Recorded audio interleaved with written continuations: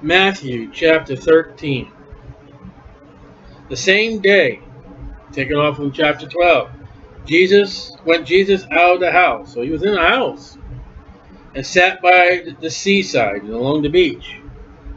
And great multitudes were gathered together unto him, so that he went into a ship and sat, and the whole multitude stood on the shore. This is a great church assembly. The pulpit has become a ship, a boat. He's going to use the water as a means of expressing his voice louder for the people to hear. Why would I mean? You're so loud.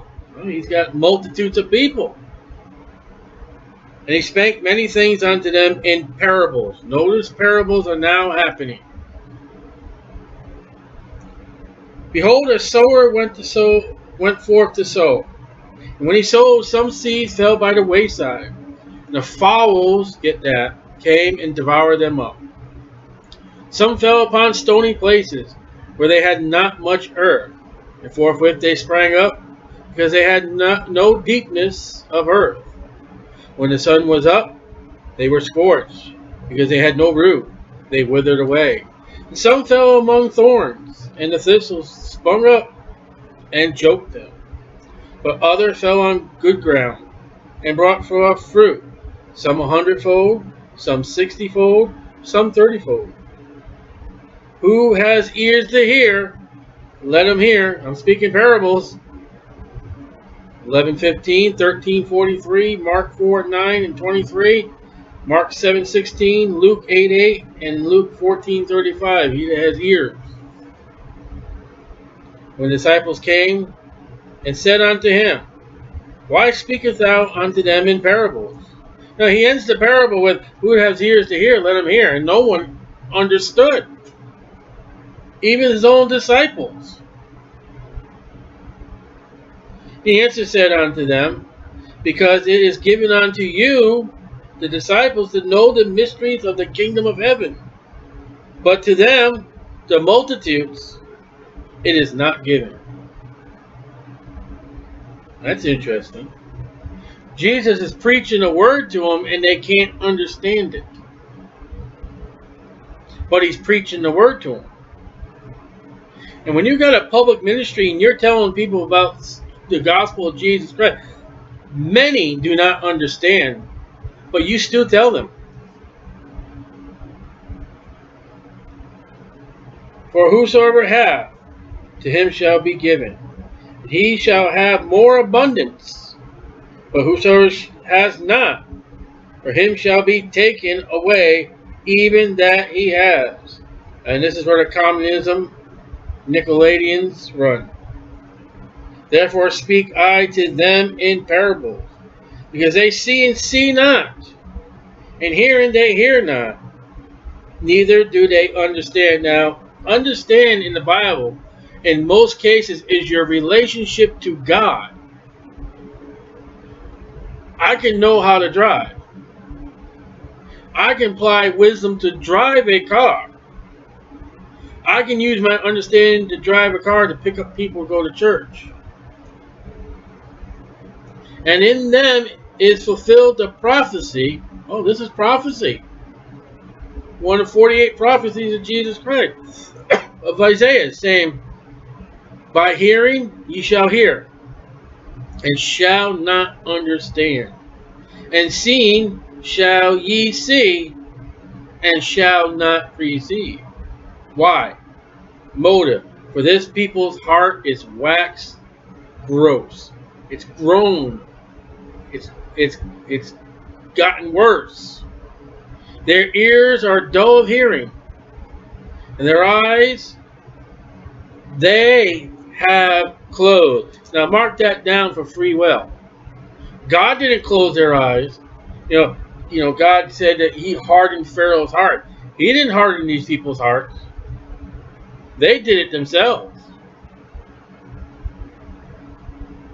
Least at any time they should see with their eyes and hear with their ears and should understand with their heart and should be converted and I should heal them.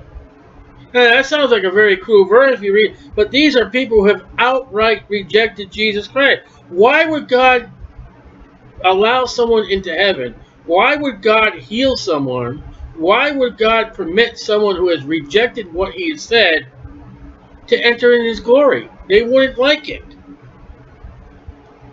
I say sometimes in the public ministry, if you don't love the Bible, you won't love heaven because this is the only thing besides men's souls that are going to be in heaven that's here on the earth right now. Why would Jesus save these people if they don't want to have anything to do with Jesus? You get to heaven, you'll have World War Six, World War Seven, World War Eight, World War can go on. But blessed are your eyes, the disciples, for they see, and your ears, for they hear. They, they don't understand it. So now he's going to open up the parable to them. For verily I say unto you, that many prophets and righteous men have desired to see those things which you see, the, the Messiah, and have not seen them, and to hear those things which ye hear the word of God, and have not heard them. Hear ye therefore the parable of the sower. When anyone heareth the word, the word of the kingdom, and understands it not. Then cometh the wicked one. Match that back to the falls of verse 4. And get those two because they're going to show up again. So in the kingdom, you have a person who's out planting seed, the word of God. Here's the word, that's the seed. And catcheth away that which was sown in his heart. This is he which received which received the seed by the wayside. So when you're witnessing, one aspect of your witnessing is Satan's going to come and take the word out. Mr. Bongo Man is going to play his bongos to drive it out. Somebody is going to come up and want to buy something. The phone is going to ring. The television is going to be too loud. Whatever Satan can do that you can't hear that word. But, number two, he that receiveth the seed unto stony places, the same is that heareth the word. Don't give me films. Faith cometh by hearing, and hearing by the word of God. Don't give me fellowship dinners. Don't give me play acting. Jesus tells you in this parable, if it's not by the word, they won't get saved. Plain and simple. And anon, which means at once. Receive, excuse me, anon with joy receiveth it. So they receive the word. Satan does not take it out. It's an emotional response. Yet have not root in himself, but dureth for a while. But when tribulation or persecution ariseth because of the word. Remember, the word is Jesus, and Jesus is the word, and for the Bible itself. I mean, if you ever picked up a Bible and gone public, how many times have you been ridiculed for having the Bible? By and by, he is offended. You offended me. It's in the Bible. Here's someone who, who's gotten saved and they're offended by being mistreated because of the word. Troubles will follow a soul winner you'll have converts, and because of tribulations and persecution, your converts will fall away. He also that receiveth seed among the thorns is he that heareth the word, and the cares of this world, and the deceitfulness of riches choke the word, not the person and he becometh unfruitful. The world follows a soul winner. And yes, as a family, we go down to the the farmer's market. Do you realize how much Converse interferes with me preaching the gospel? Well, that watermelon is two dollars. Well, I only got to five. Uh, I, think I got three dollars, Jay. Well, how much is that? Oh, that's a beautiful thing you got there. Is that popcorn fresh? Here, honey, will you take my bag? Hey, will you take the kid here? I got one. All that the Bible, Jesus says, is thorns, weeds, and they choke the word. Many people, I'm speaking about our family, many people at the farmer's market do not hear the word being preached because of the world. Number four, he that receiveth the seed into the good ground is he that heareth the word, Romans 10 17, and understandeth it, which also beareth fruit and bringeth forth some a hundredfold, some 60, and some 30. Not everybody is a hundredfold Christian. Get that. Not everybody is a 60 fold Christian. Not all Christians are 30 fold. But if you produce fruit, you please God. If you produce fruit, wait, God wants us to produce fruit, you're pleasing God. Those are the four conditions of your public ministry. Satan will come and grab it, trials and tribulation, the world, and you'll get someone who becomes faithful to the word. Another parable put he forth unto them, would be the disciples, saying, The kingdom of heaven, all right, let's get this, the kingdom of heaven is like unto a man which sowed a so which sowed good seed in his field. So the kingdom of heaven is a field where you throw seeds. And while men slept, you sleep in the kingdom of heaven. His enemy came and sowed tares among the wheat and went his way. But when the blade was sprung up and brought forth fruit, then appeared the tares also. So the servants of the householder came and said unto him, Sir, is not thou sow good seed in thy field? From whence then has it tares? Tares are identical only to an expert's eye. You cannot tell the difference until they mature. The tares have no head, thus no value. But they got to grow completely maturity. And then when that wheat has its head, oh, that one don't have a head. That one's got to go. Now you see where this is work. This is not Christian. You tell me if a Christian don't bring forth fruit, he's going to be cast. No, see, this is not Christian. This is this is dealing with the Jews. He said unto them, the enemy has done this. The servants said unto him, Wilt thou then that we go, yeah, that we go and gather it up?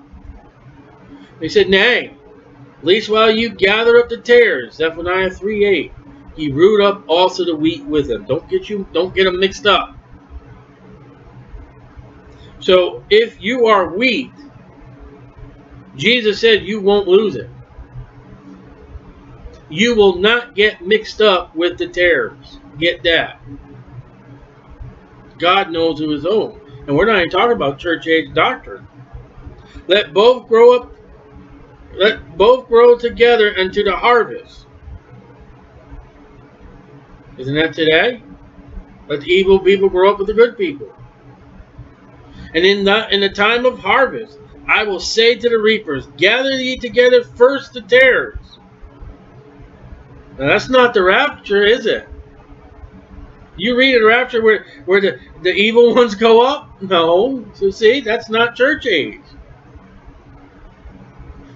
You know where the you know where the tares go? When Jesus Christ comes back in the second advent, he gets rid of all the wicked ones, doesn't he? And who's left? The Jewish people. And those that helped him.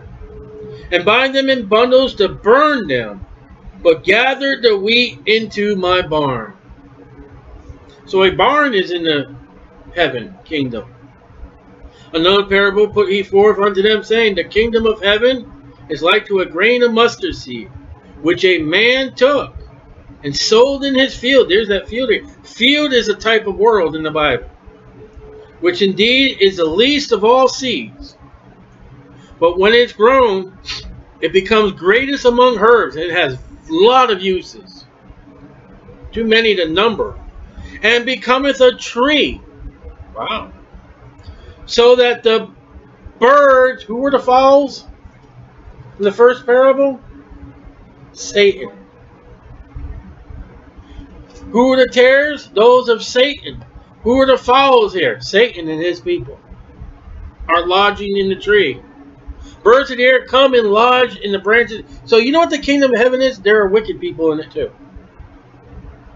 And Jesus acknowledges that. Another parable spake he unto them. The kingdom of heaven is like unto leaven. Leaven is never good in the Bible. It's called false doctrine. It's called something that, that takes something clean and it pollutes it and grows and grows and grows. Which a woman took and hid in three measures of meal. She hides it. It's not part of the recipe. I mean, if you're going to make a recipe and, you know, you're reading the box and it's got flour, eggs, milk, you don't hide something in there if it's on the box, do you? Let me take an egg in this cake mix. Hide the egg. No, that's see. She hides it in there. She doesn't want anybody to know what, what she's done. I'll fool them. Till the whole was leaven. And these things spake Jesus unto the multitudes in parables, so they couldn't understand them. Turns to his disciples, he turns to the people. His disciples are going to get it but the people are not. Still in the boat, I assume. And without a parable spake he not unto them, that it might be fulfilled which is spoken of the prophet, saying, Here we go, another prophecy. I will open my mouth in parables. I will utter things which have been kept secret from the foundation of the world. Secrets of the Bible, mysteries. Then Jesus sent the multitudes away. Go on. And went into the house. Now he entered the house the beginning of this chapter. He goes back in the house. And his disciples came to him saying, Declare unto us the parable of the tares of the field. And he answered and said unto them, Now watch up. You're going to get some learning. He that soweth the good seed is the Son of Man, Jesus Christ. Jesus Christ sows good seed good news. The gospel. Gospel means good news. The field is the world. Now get that throughout your Bible. Every time you read field, it's a type of the world. The good seed are the children of the kingdom, Jewish people. We're not of the kingdom. The Jewish people are. But the tares are the children of the wicked one. Now notice the wicked. Now you mark your Bible, if you mark your Bible, the wicked. Every time you see the wicked. Now that's talking about wicked people, but that's talking about one specific article. The Antichrist. And he says the wicked one. There's only going to be two classes of people in the tribulation, the Jews and those of the wicked one and those that help the Jews fall under the Jews and get the kingdom because of what their conduct was to the Jews. The enemy that sold them, get it ready, is the devil. So how can Jesus and Satan be brothers? That's nonsense. The harvest is the end of the world when Jesus Christ comes back. The reapers are the angels. As therefore the tares are gathered and burned in the fire. There's hellfire. So shall it be in the end of the world. And the Son of Man shall send forth his angels. They shall gather out of his kingdom all things that offend. Ooh. There goes your American. You offend me. All right, get out. I'm offensive. Get out. And them which do iniquity. So we got more tares in the wheat. Backs up the previous. He's telling when he read the tares of the wheat, he's telling you what it is. And shall cast them into a furnace of fire. And there shall be wailing and gnashing of teeth and scripture with scripture. That's hell. So Jesus never preached about hell is a lie. Then shall now the tares are thrown into hell. They have no fruit. You can't say that for people today. You can't say that. Well, you don't bring you don't bring forth no Christians, so you, you're not. You can't say that. There are Gentile people at the end of the tribulation. They bring forth fruit. What's their fruit? They visited the Jews. They fed the Jews. Works, works, works. Get that, please, with Matthew. We're not of works. We're saved by grace, lest any man should boast. Ephesians 2, 8 and 9. Then shall the righteous shine forth as the sun in the kingdom of their Father.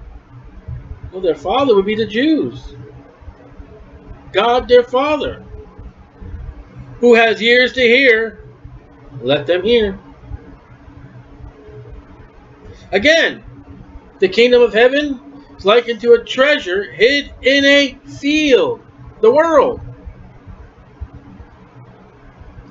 The which when a man has found, he, finds his treasure, he hideth. Who, the man or the treasure? I don't know. Found the treasure, he hideth. And for joy, therefore, goeth and selleth all that he has and buyeth the field, the millennium, and takes the curse off the earth. The land is given to the Jews, with King Jesus, the King of Kings, the Lord of Lords. Who is the treasure? The people of Israel. The kingdom of heaven is like unto a merchant man seeking goodly pearls, who when he had found one pearl of great price, just one pearl, went and sold all that he had and bought it. Now, pearls are the only gemstones that are living organization. They're alive inside of a, of a, a clam, oyster one of them things. And it's actually living. And they're worth a lot of money. So a pearl that is living as a gem is likened to living people. And then when we get to the judgment seat of Christ, as Christians, one of the things we have is precious stones. One of them precious stones is pearls. We see pearls are one of are the 12 gates in New Jerusalem. It could be possibly with pearls. It could be every soul that we won for Jesus Christ had some part in that. That will be remain through the fire as a pearl to put on our crown. Just that's my own personal opinion and some things I've heard preachers say, and it's not scriptural, but it's possible who, when he had found one pearl great price, went and sold all he had and bought it. He owns it. Again, the kingdom of heaven is like unto a net that was cast into the sea and gathered of every kind. When it was full, they drew to shore. Now he's talking to four fishermen. They're like, yeah, all right, net, fish, and one of the tax collector, you know, he's probably saying, well, what's the revenue of those fish you caught? And part of the other disciples, I don't know if they're really interested, but and gathered the good into vessels, the good fish, but cast the bad away. Here men are likened to fish. And he tells disciples, become fishers of men. Bad fish are thrown out. Good fish are kept. So you see here, like the tares and the wheat, there are good fish and there are bad fish swimming around, walking around, growing in this earth. He's trying to lay it to the disciples. These people are not good. Some people are good, some people are not good. So when it be at the end of the world, the angels shall come forth and sever the wicked from among the just. Amen. In glory, one day the wicked will be departed from us. And shall cast them into the furnace of fire. There shall be wailing and gnashing of teeth. Reference with reference, scripture with scripture. Hell. Jesus said unto him, Have you understood all these things? They said unto him, Yea, Lord. So they knew. Some of them, you know, he they he didn't have to explain. Just I wonder if he read them to him and he looked at him like, "Got it."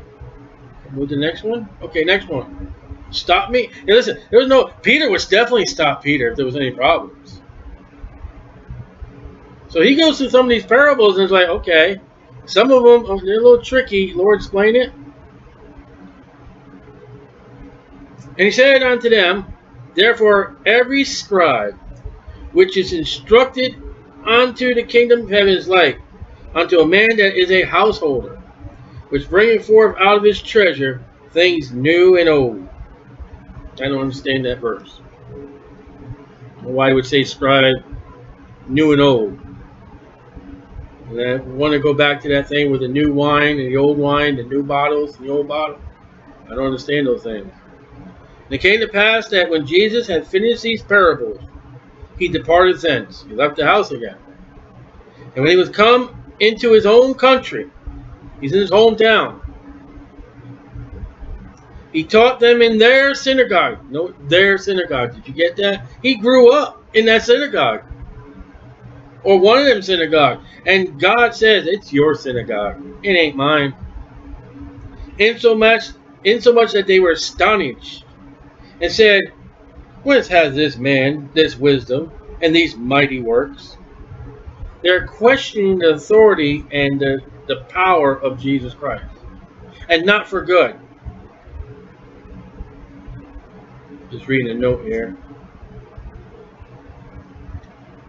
Is not this the carpenter's son? Nope. Only by adoption. But they're saying it in such a way as, who is this guy? What a nerve does he have? Mr. Goody Goody Two Shoe Jesus, high honors and everything, knew everything. Pointing out all the parts of the frog in dissection class, got all the good grades. He was just the best thing, never had to eat that. Who do you think you are? Is not his mother called Mary? Oh, yes. Got that right. So they knew who Jesus was. Now, I wonder what the Catholic Bible says next. His brethren, James. He had a brother named James. And Joseph. And Simon. And Judas. Notice how much James, Simon, and Judas shows up in Jesus' life. Now, jo Judas is a Greek name for Judah. You know what the Catholics will say about that? That's his uncles, his nephews, and any other. It's brethren like their fellow Jews. I've heard that gash from a priest. But when they mention his father and he mentioned his mother, notice how they didn't mention Joseph's name. Something happened to Joseph that we don't know nothing about. He just becomes the carpenter. James, Joseph, I don't have nothing to say about Joseph, and Simon and Judas. King James Bible. You know what James means in the New Testament? Jacob of the Old Testament. And his sisters. How, how do you get that one? Where do you escape from that one? They were the nuns? There were no nuns. That was Joshua's father. The nuns of the Catholic Church are transgender. They don't even know what they're supposed to be. Joshua the son of Nun, that was his father. His sisters, you got it? Mary had daughters. Joseph had daughters. They had sons. Are they not all with us in our town, in our city? Whence then has this man? They don't even name him. All these things, all these powers, all these words. What? What? Who, who do you think he is? He's just a carpenter's son. And Mary, Miss High and Glory Mary, the angel visitor, and she never been with man. You know, they're just Mary. She's na na na na na. I can see the Baptist attitude. The Baptist congregation women talking about it.